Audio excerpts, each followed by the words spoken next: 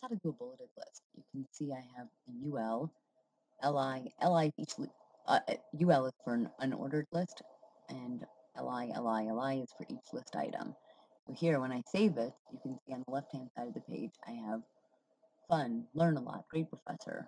That's why I love CS300.